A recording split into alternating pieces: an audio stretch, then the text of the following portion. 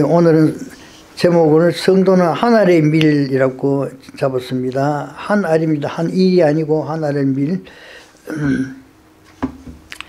이 추수 때를 맞이하여서 우리 자신을 돌아보는 시간이 되었으면 합니다. 참 어제도 내가 너무 화가 나가지고 좀 화를 좀 냈어요. 핸드폰을 바꾸러 갔는데 그 전에 바꿨는데 어제 또 한 어, 사람이 캔슬하는 바람에 둘이가 돼가지고 하나 빼돌라고 갔거든요. 그러니까 어니미티들을 그때 세 사람 하면 40불씩 해주겠다 했어요. 데이터 언리미티드. 그런데 어제를 가니까 한 사람당 70불이라 하잖아. 근데 언리미티드 쓰는 사학년마다 150불 가까이 돼버리는 거예요.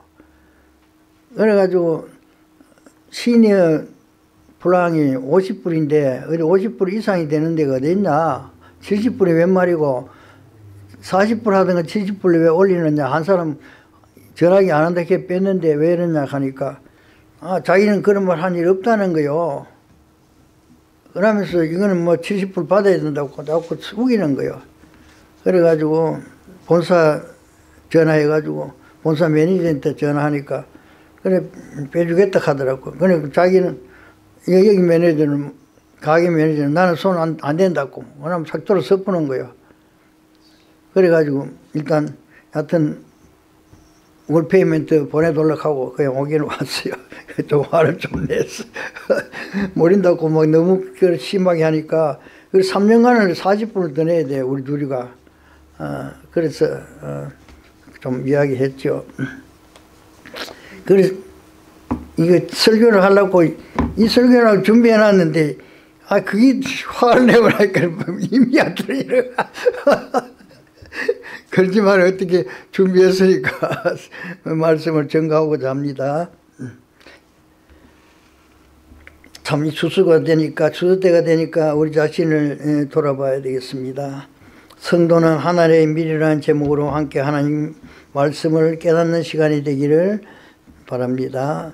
본문 24절과 25절에 진실로 진실로 내가 너에게 말하노니 하늘의 밀이 땅에 떨어져 죽지 아니하면 하늘 그대로 있고 죽으면 많은 열매를 맺느니라. 자기 생명을 사랑하는 사람은 그것을 잃을 것이요. 이 세상에 자기 생명을 미워하는 사람 그것을 영생까지 하지 보존하리라. 그래 자기 생명을 너무 사랑해서 그안 잃으려고 그렇게 하면은 자기 멋대로 되는 것도 아닌데 붙들리 가지고 그래 살면 어떻게 되겠어? 그냥 안 죽고 있으면은 뭐가 됩니까? 하늘의 밀이 안 죽고 있으면 결국은 음식으로 들어가고 없어지는 밖에 없어요. 그런데 땅에 뿌려져 죽으면은 많은 열매를 맺는다. 자기 생명을 사랑하는 사람은 그것을 잃을 것이요. 이 세상에서 자기 생명을 미워하는 사람을 그것을 영생하기까지 보존하리라. 즉 자기만 위해 사는 사람은 그 생명을 잃을 것이지만 주님 따라 남을 위해 희생하며 사는 사람은 영생의 축복을 받을 것이라는 그런 말씀입니다. 예수님은 그 앞에 있는 즐거움을 위하여 십자가를 참으사 부끄러움을 개치 아니하시더니 하나님 보좌 우편에 앉으셨느니라. 주님을 따른 제자답게 우리는 어떻게 살고 있습니까? 과연 나는 하나님의 양식으로 끝날 사람인가? 아니면 힘겨져서 온갖 환란과 욕을 당하면서 죽어서 많은 열매를 맺는 사람인가를 돌아보시기를 바랍니다. 우리는 올해에 하나님께로부터 365일간 살아라는 놀라운 축복을 받았습니다. 노동자나 재벌이나 건강한 사람이나 몸이 불편한 사람이나 어린아이나 노인 할 것 없이 똑같이 365일을 받았습니다. 이거는 권세가 있다고 빼앗을 수 있는 것도 아니고 돈으로 살 수 있는 그런 것도 아닌 귀한 것이지만 하나님은 그저 주셨습니다. 이 삶을 우리는 얼마나 올해도 보람있게 살았습니까? 병이 들어 침상에 지난 몇 개월간 누워있지 않았다면 우리는 내 삶을 한번 돌아봐야 되겠습니다. 어떤 사람은 늦게 일어나서 술과 오락으로 사는 사람도 있습니다. 어떤 사람은 자기 일을 위하여만 사는 사람이 있고 어떤 사람은 새벽에 일찍 일어나서 삶을 주신 하나님께 감사드리며 오늘 하루도 주신 하나님께 조금이라도 부끄럽지 않게 살겠다는 각오로 남을 위한 기도와 도울 마음을 가지고 하루를 사는 사람이 있습니다. 어떻게 사는 것이 우리에게 삶을 주신 분에게 보담하는 것이겠습니까? 이 삶을 나를 위해 다 서지 말고 남을 위해 도우면서 양보하며 사는 것이 옳지 않겠습니까? 건강할 때 감사하며 봉사하며 우리가 살아야 되겠습니다. 재벌이라고 하루에 10끼 먹는 것도 아닙니다. 그나마 병이 되면 한 끼도 못 먹습니다. 불평, 불만, 불안과 짜증과 신경질, 화병이 나서 살지 말고 이제 남은 40여일 동안 올해도 생명을 주신 하나님께 보답하는 뜻에서 항상 기뻐하고 쉬지 말고 기도하고 범사에 감사하며 우리가 살아야 되겠습니다. 하늘의 미리 죽지 않으면 하늘 그대로 있고 죽으면 많은 열매를 맺느니라. 우리 주님 우리에게 이와 같은 귀한 말씀으로 가르쳐 주셨습니다. 사람들은 흔히들 말합니다. 나 하나 죽어서 많은 사람을 살릴 수 있다면 기꺼이 죽겠노라 하고. 그러나 나 하나 죽어서 알지도 못하는 사람 위해서 내가 죽었어 그 사람 살리겠다 하면은 한번 생각해 봐야 되겠다. 부정적인 생각을 합니다. 우리가 어떻게 그렇게 대단합니까? 딴 사람은 살리고 내 죽는 거 그것이 무엇이 그리 아깝고 많은 삶 위해서 죽는 것은 아깝지 않다는 말입니까? 뒷걸모와 태산이라고 한 사람도 못 살리면서 어찌 많은 사람 살릴 수 있다고 생각할 수가 있겠습니까? 어떤 목사님이 어떤 마을로 부임하셔서 하나님께 계속해서 기도했습니다. 철회하면서 금식하면서 하나님 이 말 전체가 예수 믿고 하나님께로 돌아온다면 내가 기꺼이 순교하겠습니다. 그렇게 암만 기도 대답이 없어. 하나님께서 대답이 없었다. 그래 하는 또 막 부러지고 막 그야말로 눈물 흘리면서 그 영혼들을 불쌍한 마음이 생겼어 기도하는데 마음속으로 하나님이 말씀하셨대요. 네가 한 사람을 위해서 순교하겠다는 기도는 왜안 하느냐. 마을 전체를 위해서는 네가 죽겠다고 순교하겠다고 하는데 왜 한 사람을 위해서는 네가 죽겠다는 기도를 안 하느냐.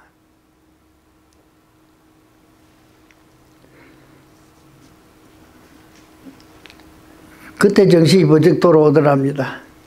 아, 내가 한 사람을 붙들고 그 영혼을 불쌍히 여기는 마음으로 기도하지 않고 그저 욕심으로 마을 전체를 구원하겠다고 기도하니까 하나님이 대답하지 않으셨구나. 내가 한 사람을 위해서 순교하는 마음으로 살아야 되겠다. 그렇게 결심을 했다는 것입니다. 하나님께서 우리에게 남을 위해 봉사하는 마음을 주시기를 바랍니다. 주 예수 그리스도의 이름으로 이와 같은 마음을 주시기를 축복합니다.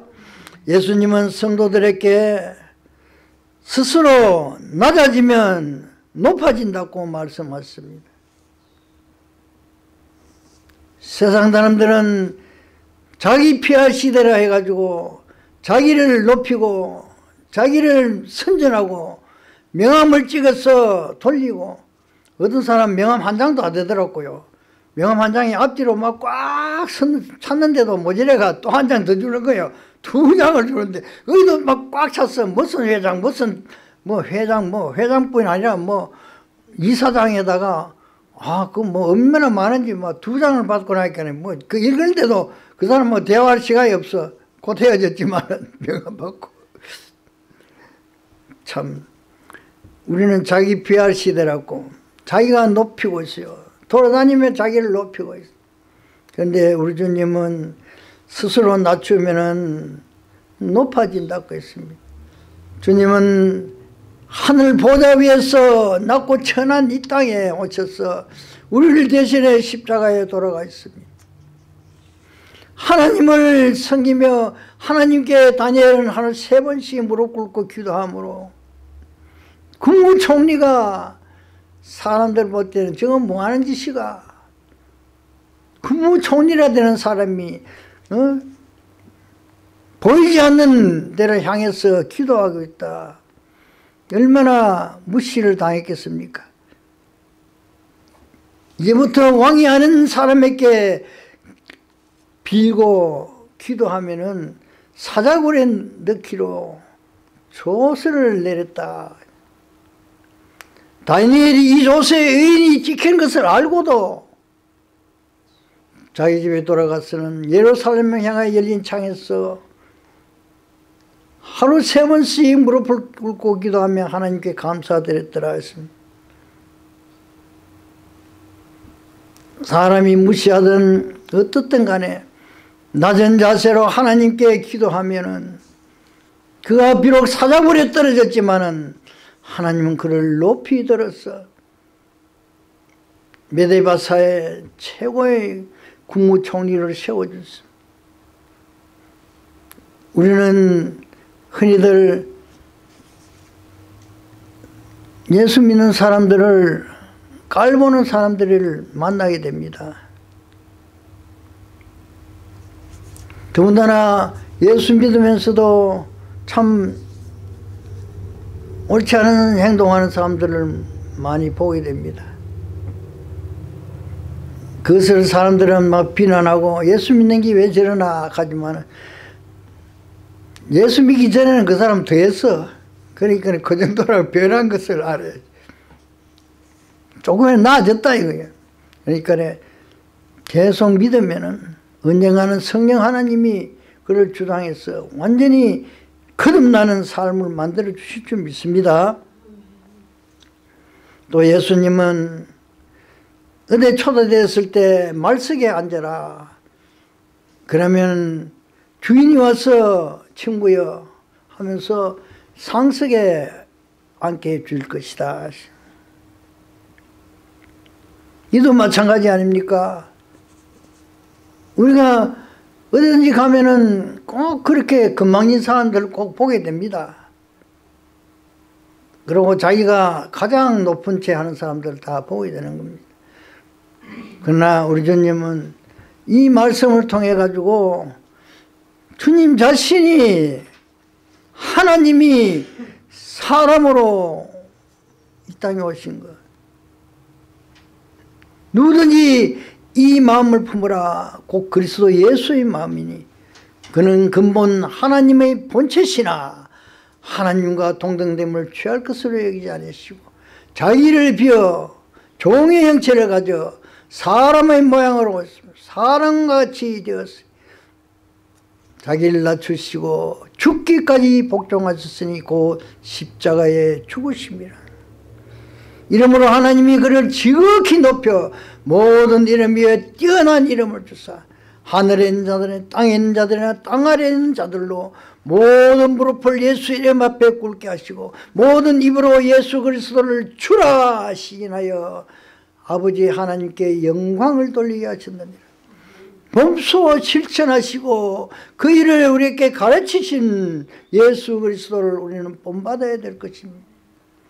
우리는 그냥 무턱대 놓고 말만 하고 던지는 사람들과 같지 않고 예수님은 말씀하시고 그대로 실천하셨고 그대로 또한 죽기까지 복종하셨다고 했습니다.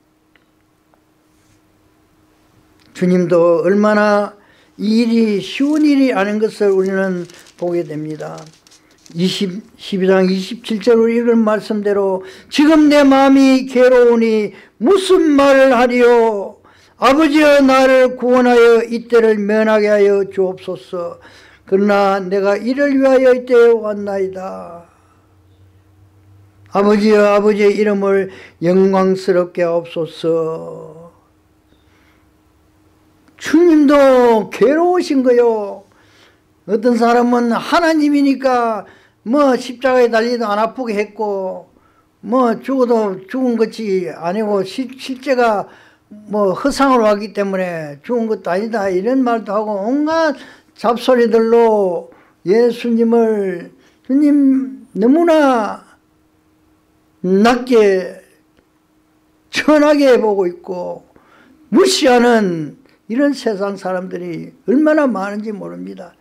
그러나 주님은 실제로 사람의 모양으로 오셨고 사람으로 태어나셨고 하나님 동시에 사람이시고 우리와 같은 고통을 다 하셨고 배고픔을 느끼셨고 슬퍼 우시기도 하셨고 십자가에 달리시기 전에는 괴로워서 아버지 하나님께 이때를 면하게 해달라고 기도까지 하셨고 그러나 이때를 위하여 왔기 때문에 하나님 말씀에 순종하겠다고 말씀하시고 십자가에 돌아가신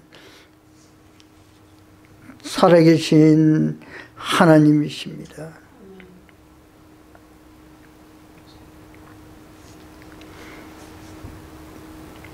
이와 같이 예수님은 스스로 낮아지면 높아진다고 했습니다. 말석에 앉으라 그러면 상석으로 앉게 된다. 죽어야만 많은 열매를 맺게 된다. 주님 말씀하셨습니다. 원래 남은 이제 40여일 남았습니다. 이 동안만이라도 우리는 주님 말씀을 깨닫고 살았어. 많은 열매를 맺고 영생의 축복을 받는 저와 여러분들이 되시기를 예수 그리스도 이름으로 축복합니다.